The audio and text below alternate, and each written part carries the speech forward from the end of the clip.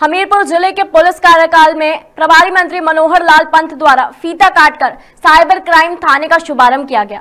बता दें, प्रदेश में तीन हज़ार सौ करोड़ के बजट में एक हज़ार पाँच सौ तेईस साइबर क्राइम थानों का निर्माण होना है।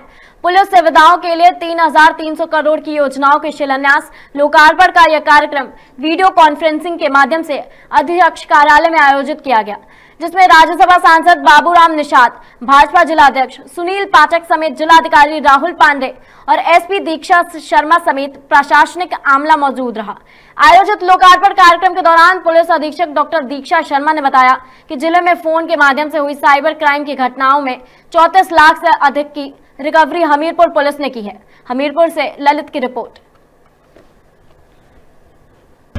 साइबर क्राइम थाना का उद्घाटन हमारे ललितपुर ज़िले के हमीरपुर पुलिस लाइन में ये हुआ है, जिसमें माननीय हमारे उत्तर प्रदेश के यशस्वी मुख्यमंत्री जी के द्वारा एन के थाना क्राइम के लिए काफ़ी सुविधाएँ दी गई हैं, जिनमें उन्होंने तीन हज़ार तीन सौ करोड़ रुपया की इनकी सुविधाओं के लिए विकास का कार्य हो और जनता को परेशानी ना हो।